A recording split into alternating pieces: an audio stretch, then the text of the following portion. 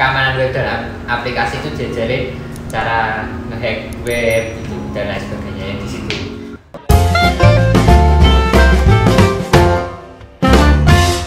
Yo, woi ketemu lagi nih di uh, konten bedah jurusan. Campaign jurusan. Ini aku harus menculik anak-anak teknologi informasi untuk ngasih tahu kalian jurusannya kayak gimana. Buat adik-adik SMA nih ya, nih lihat kakak-kakak ganteng ini pakai kemeja, habis sidang aku tadi. Eh sini sini anak-anak SMA butuh info soal jurusan kalian. Makanya aku aja gitu. Nah di uh, segmen kali ini, video kali ini kita bahas jurusan apa? Teknologi informasi. informasi. Nah, by the way, uh, sebelum masuk ke pertanyaan soal jurusan, ya kan? Nih kenalin nama kalian siapa? Kamu nama Nama Prima, Prima, lulus jalur? jalur SNMPTN Oke, nanti kita tanya ya di undangan gimana. Dari SMA mana berarti? dari SMAN 1 Genteng Banyuwangi. Pantes, sekolah favorit tuh. Ah, nih jalur apa? Nama Adrian dan masuk lewat SBMPTN. Oh, belajar pinter berarti. Tuh, pinter dari sekolahnya. Kalau bisa belajar bisa masuk. Jangan nanti mereka gak belajar loh. Kamu apa? SBM, SNM? SBMPTN. SBM. Bimbel. Enggak dong. Belajar sendiri. Kamu SMA mana? SMA Petra 5. Berarti Surabaya asli kamu ya? Iya. Ngekos nggak? Enggak. Wah, hemat dong. Hebat. Kamu? Nah, aku dari SMA Kristen di SKI Semarang. Woi, orang Semarang? Di Semarang. Wih, adik-adik kelasnya ini. Aduh. Kakakmu ada di ITS ini. Oke, em, ngomongin soal jurusan kalian nih ya. Jurusan kalian belajar apa sih? Kalau di sini sih belajarnya kurang lebih kayak Internet of Things atau cyber security dan cloud gitu. Kurang lebih kayak gitu. Coba satu-satu tadi apa? Eh, yang pertama, Kalau Internet of Things ini lebih ke alat-alat yang bisa berhubungan dengan internet gitu. Misalnya uh, apa, smart traffic light atau uh, apa ya smart door lock atau apa sih? oh berarti kalian juga bisa bikin sistem automatisation kayak gitu ya?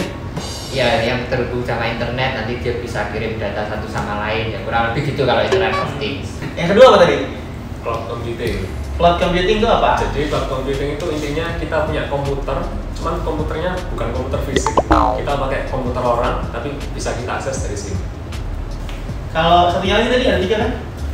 Ada cyber security. Cyber security, oh udah pasti. Ya. Ngamanin Ya, hacking-hacking begitulah. hacking-hacking. Ngamanin itu juga bisa gak sih kayak aset-aset digital? Ah, bisa, bisa. Kurang lebih kayak gitu. Jadi teman-teman anak SMA mana yang kiranya cocok untuk kuliah di jurusan kalian? Ya mungkin yang suka komputer gitu ya, suka coding-coding karena di sini kan banyak ngodingnya gitu. Ada lagi yang mungkin dia punya dasar fisika, kimia. Karena anak kalian anak saintek asli ya? Saya ya, saya IPA, IPA semua. kira ada yang lintas jurusan yang lain. Oh. Udah ada ya? nggak ada. Itu ya. Jadi teman-teman catat itu yang suka-suka kayak gitu silahkan pilih jurusan ini. Biar nggak salah jurusan. Sekarang mata kuliah yang kalian ingat gitu yang anak teknologi informasi banget apa? Ini beda-beda nih nih kamu mau apa? Ya, paling keamanan web dan aplikasi ya. Karena salah satu apa ya diajarkan di sini kan cyber security. Jadi di keamanan web dan ap- aplikasi diajarin cara ngehack web gitu dan lain sebagainya. Yang di situ belajar cara ngehack supaya bisa menanggulanginya iya Ah, betul. oke kamu apa Internet of Things. Internet of Things ngajarin cara merangkai sensor-sensor jadi satu, lalu juga memanfaatkan sensor itu dalam sebuah codingan. Jadi bisa dibuat alat. kamu Kalau dari saya mungkin HETI ya. Heti itu hukum etika teknologi informasi. oh ada Jadi, tuh Iya, jadi segala yang, yang kita lakukan di internet itu ada etikanya gitu. Hmm. Jadi kita nggak bisa asal apa ya, simpelnya yang sering kita lakukan. Hmm. Terus bacakan itu sebenarnya nggak boleh gitu. Jadi Oh. kita diajarkan di awal perkuliahan betapa ya konyolnya kita pada waktu itu. Oke itu eh, mata kuliahnya. Nah eh, kalau tugasnya, tugas kuliahnya yang kalian ingat gitu yang berkesan. Eh, paling itu ya sistem operasi dengan eh, praktikum-praktikumnya Eh, tugasnya ya kurang lebih itu sebenarnya coding-coding cuman lebih lebih apa ya lebih banyak lebih kompleks gitulah aplikasi-aplikasinya sampai disuruh bikin database sendiri nah kayak gitu Apalagi yang lain? Mungkin struktur data, data banyak jenis strukturnya. Ya Hmm. itu pada dasarnya cuma coding sih, cuma lebih sulit dan lebih kompleks. Berarti alat-alat apa aja yang harus dipunya nih? Harus punya laptop canggih kan? alat sendiri kalau semester awal-awal ya asalkan laptopnya bisa buat ngetik tugas itu sudah aman ya semakin bagus laptopnya semakin bagus gitu ya i7 kalau bisa kalau nggak bisa ya i5 RAM berapa gitu FOG, MacBook gitu. iya bilang aja orang tua Nendang pintu kan minta. Pak, ini buat kuliah. MacBook. Tapi UKT di sini itu dibagi-bagi berdasarkan kelompok kan. Iya. mengikuti kemampuan orang tua. Nah itu yang pentingnya PTN, makanya belajar biar si kakak-kakak ini lulus SNM sama SDM. Ya. Ujian, eh enggak ujian tulis sama undangan. Ada. Nah kalau ditanya, kenapa kamu milih jurusan ini? Oke, kalau aku sendiri awalnya itu eh, waktu SMA lihat-lihat jurusan gitu. Terus nemu satu jurusan namanya cyber security. Nah, terus karena lihat di sini ada, jadi nyoba untuk masuk eh, di sini gitu. Tapi kan ini teknologi informasi. Oh di dalamnya belajar cyber security, kamu jadi milih sini. Iya, kan ada banyak ada Internet of Things, ada cyber security, ya, Hmm. ada cloud. Nah, karena di sini ada, ya coba untuk waktu itu SBM di sini gitu. Oke. Eh kalau kamu alasannya apa? Dulu sih pengennya masuk informatika, cuman itu kan uh, jurusan terkenal, jadi pengen masuk. Hmm. Terus kan dikasih pilihan dua, seandainya saja pilihan satu nggak masuk, kan ada pilihan dua. Pilihan duanya cari yang mirip ketemu teknologi informasi. Oh Jadi, iya iya. nggak keterima di informatika, terimanya di sini. Nah itu bisa jadi catatan juga buat teman-teman. Jadi tuh kalau kalian passion akan sesuatu, tapi kan masuknya itu kan lewat eh, jalur seleksi ya. Iya. Jadi tuh ada jurusan yang ketat yang mana duanya yang lebih menurunkan ego gitu. Biar masuk tapi juga nggak salah jurusan, tetap disuka gitu kan. Iya. Nah itu bener tuh kata kakak yang di tengah ini nih. Gitu. Kalian bisa lakukan itu juga. Kalau kamu alasannya apa? kalau dari saya alasan khususnya dari prospek kerja Wih. soalnya Ini, ini udah udah udah yang gitu, serius. nih. Bentar lagi kerja, sini udah ada. Wah. Wah, insya ada. Gitu. Papa ada gak yang di bidang apa Ah. gitu? Dan, dan. Nah itu mah kompetisi ya. apa? untuk prospek kerja kan IT itu luas banget itu gak hanya tiga bidang yang telah disebutkan tadi cyber security, IoT melainkan ada bidang lain yang bisa kita geluti seperti jaringan mungkin atau data science atau uh, bidang lain lah di bidang IT Iya ya. Tapi kalau kalian melihat eh, kayak lulusan kalian atau kakak atau yang sebidang sama kalian, itu bisa kerja di mana aja sih perusahaan apa aja?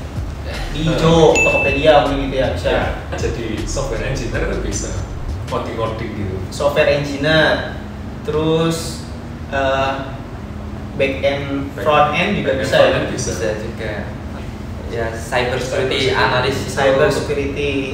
mantap Nah dan gak enaknya kuliah di ITS, terutama jurusan kalian nih. Enaknya, ya mungkin kayak tadi ya, kalau alat-alat buat praktek apa-apa sudah ada, jadi ya lebih enak lah, nggak perlu nyari ke mana-mana. Di sini banyak jual makanan dan lumayan murah. Apa lagi? Enaknya. dari saya dari teman juga sih di pada solid teman-temannya misal ada tugas itu sih kita selalu kayak ngerjain bersama gitu Hmm. contohnya kita kan ada kayak grup kelas gitu kan discord itu anak IT pasti Oh, Discord ya? iya, sering denger lah discord jadi kita ngobrol ngapa-ngapain itu di sana bareng gitu Tapi ceweknya banyak di jurusan ini. Cewek, kita berapa Sekitar 10, ya 11. 10 dari 45 Wah, dominan cowok lah ya. Iya, iya. Kalau di sini jomblo semua? Jomblo. lagi nyari di sini Ah, nyari ya siapa yang tertarik nih. Terus eh, dapetin mereka tuh sebelum mereka sukses-sukses. Iya kan? Kan apa sukses kan? Lulus gaji dua biji. Jurusan mentereng loh. Eh, gak enaknya. Eh, ya ini ya, belum ada gedung, jadi ini masih jadi satu soal perpustakaan. Tapi mungkin kalau buat anak-anak SMA yang masuk nggak apa-apa, gedungnya lagi dibangun. Berarti nanti kalian dapet gedung baru ya? Iya, ada lagi dibangun. Gak enak lagi. Kalau dari aku sendiri sih ya di Surabaya seperti biasa cuacanya panas. Panas ya? Panas. Panas. Kalau kamu gak enaknya? Ya enaknya kalau kalian kuliah di ITS akan kenal yang namanya waktu Indonesia ITS.